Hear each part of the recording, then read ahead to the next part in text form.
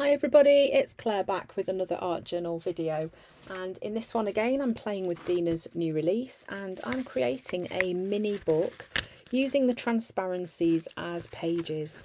So I'm taking some of the sheets from the Pattern Play Pack 2 um, from Dina's new release and I am basically cutting one of the sheets into three pieces. So let me just quickly me measure. Sorry about all that noise. Oops.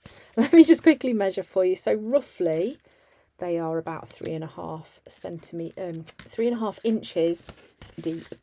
So I've cut them into three. Then I'm using my bone folder just to help uh, put a crease in the centre of each of those.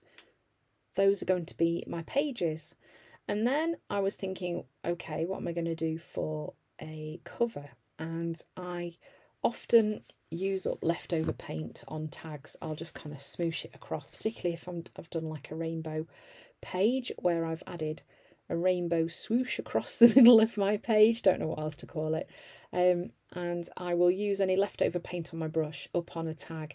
I found one of the large Dina tags and this just fitted absolutely perfectly. It's like it was made for this.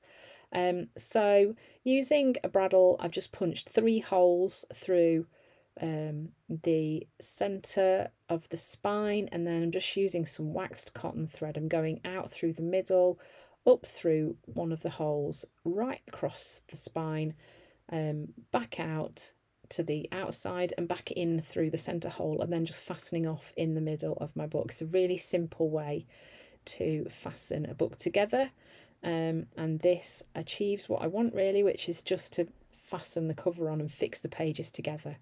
So then I'm just grabbing um, three of my favourite stamp sets. So I've grabbed one called Make Things Happen, Seeing is Believing and Squared. Now here I've got a large sheet of mixed media paper and I've sped this right up and I am just stamping out loads of images here.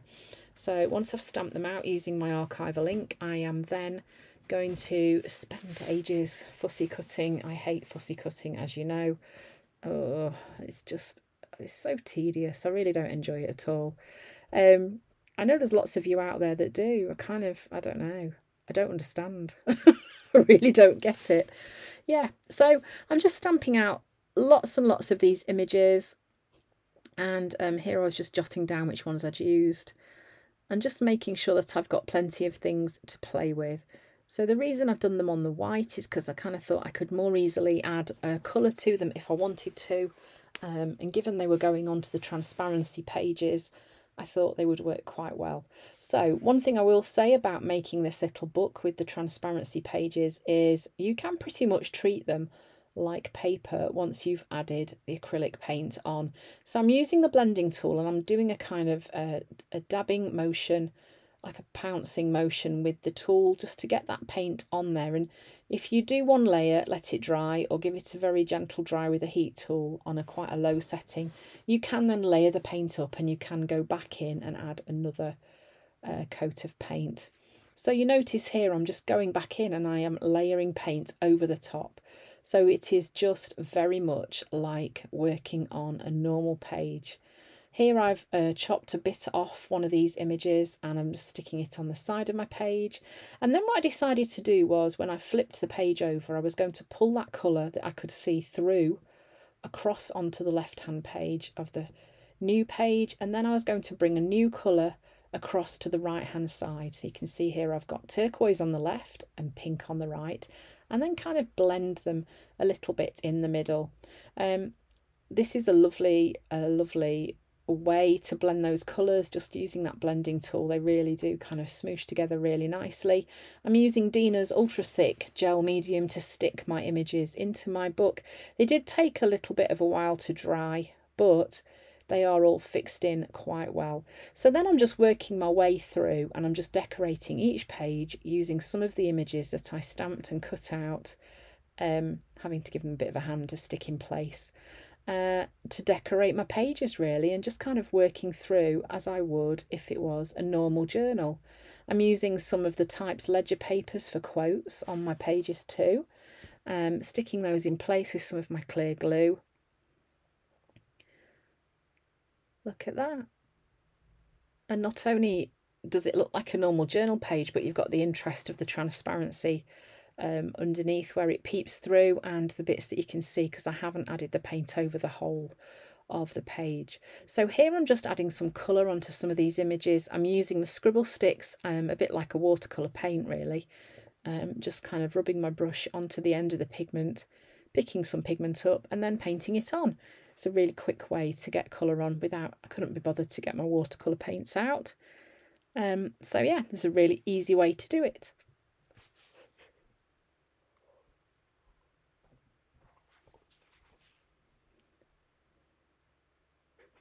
So then I'm just adding some colour onto the hair, onto the rest of the uh, figure.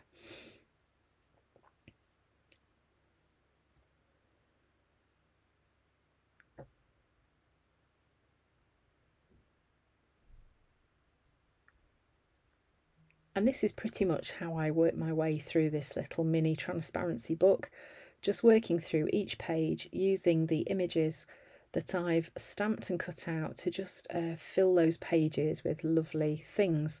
I'm using a Stabilo All, you'll notice even that uh, writes on the acrylic paint as well.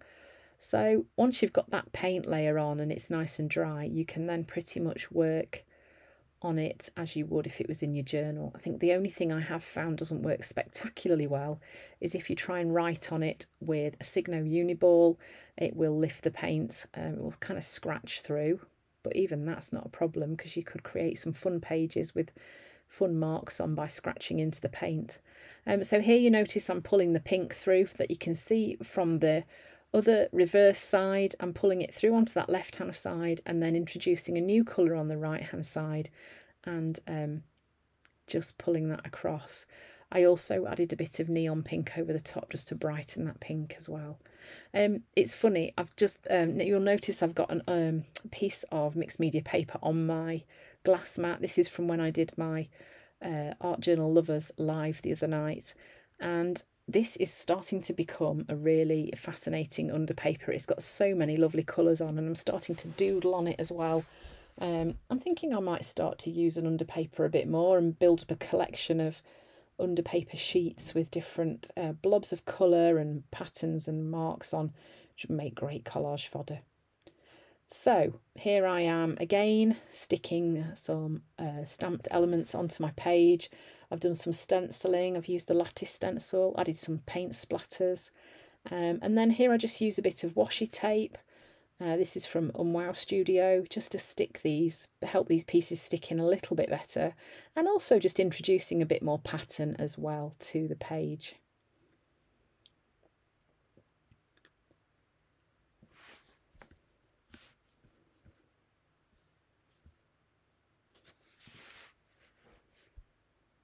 And then I'm adding my quote in as well.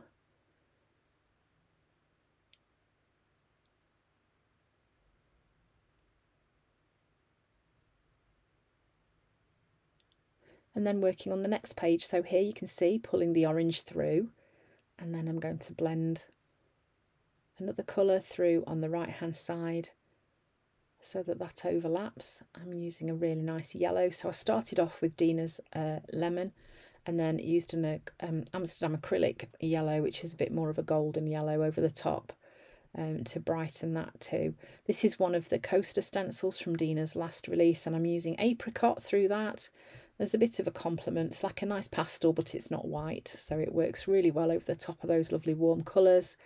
Um, so just introducing a little bit of more pattern over the top of those, uh, the orange and the yellow that's on the transparency pages. And then here I've used one of the squared faces and I'm going to um, give it some hair that extends out across the page. So I did map it in in pen first before I grabbed my paintbrush and started to paint it in. Um, it just shows you can think outside the box. That's quite funny given this is a squared stamp. Um, you can think outside the box with these stamps as well. You don't have to use them just as they are. You can um, change them up and alter them and make them your own. Um, so just because a stamp has no hair on it, a face has no hair, um, you can add your own hair. You can you know, there's ways around these things, just sort of sometimes mix it up, think outside the box a little bit. So she's now got some hair, once that was dry, I then went in with a white Posca pen and just added some marks on to just kind of represent the movement of the hair. Um, but I did need to make sure that the black acrylic paint was properly dry.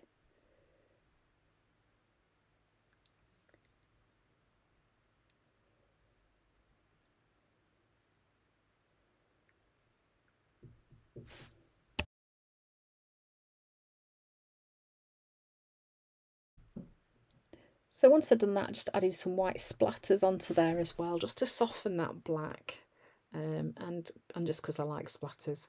And then using my Posca pen, I am just writing some words on the bottom of the page. So you can see pretty much I'm just treating them as I would do if they were normal pages. When I say normal pages, I mean from paper and not transparency.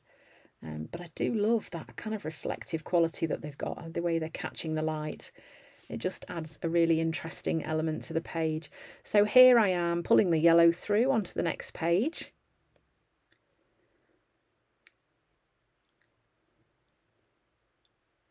and then going into green. So I'm kind of, kind of working through the rainbow, although that does go a bit pear-shaped on the next one.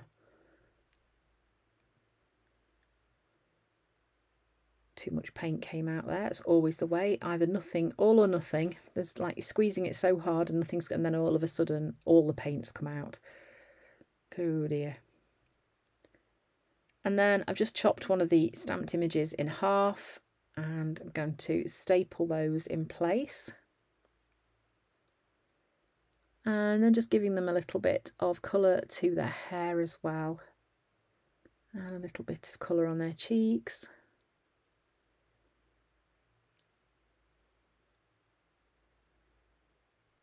And then I drew some lines so that I could um, do some more writing.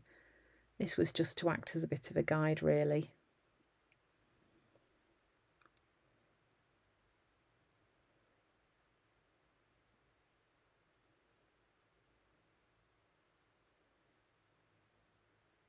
Oh, that only just fit, didn't it?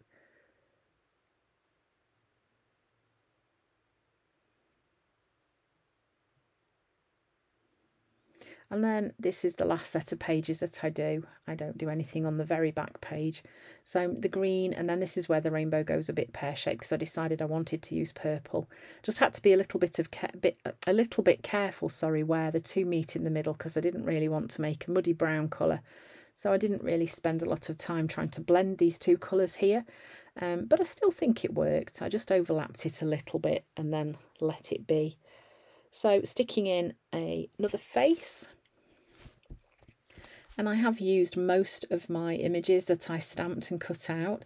So here I'm just cutting up these little um, stamped images where there's three of these lovely circles with a bit of text in, I'm chopping them up and I'm going to spread them around on this page. I've put a bit of washi tape down just to make some lines on the page as well. And then I am going to just be sticking in a typed ledger paper quote um, just to complete that page.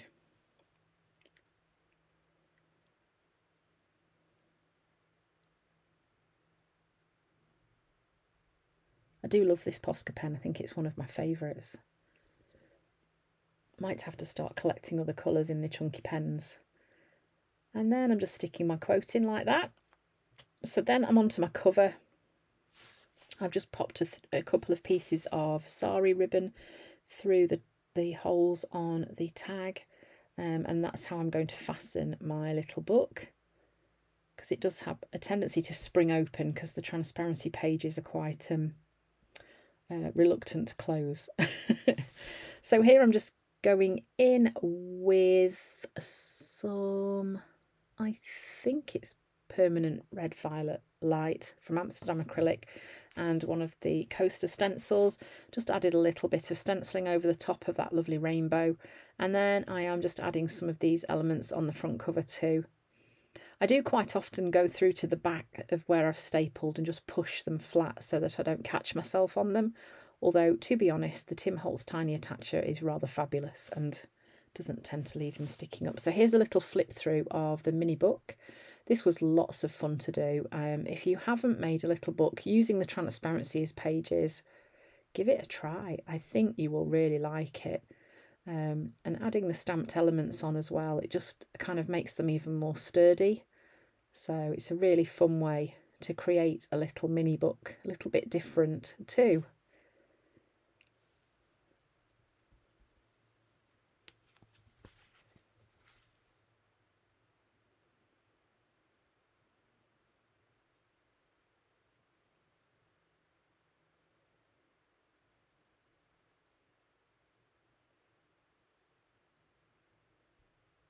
I'm loving how the colours flow as well. Really nice. Okay, so I hope you've enjoyed watching me create this little mini uh, book using the transparencies for pages. Um, uh, yeah, and found it inspiring. Um, come back again tomorrow for another video where I will share my creations with Dina's new release. So thanks for watching and I hope to see you again soon.